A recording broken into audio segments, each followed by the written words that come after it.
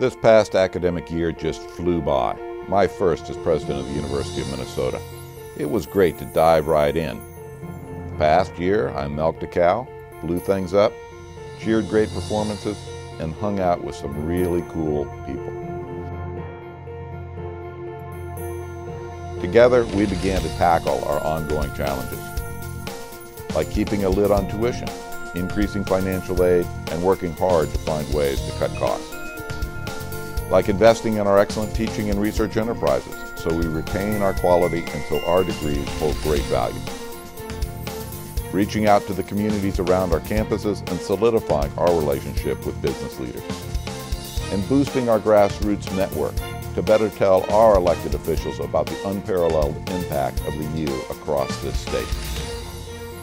Thank you for an exciting, supportive, and productive year one.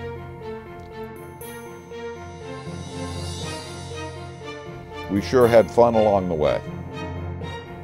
And now our work continues as we move forward. I can't wait.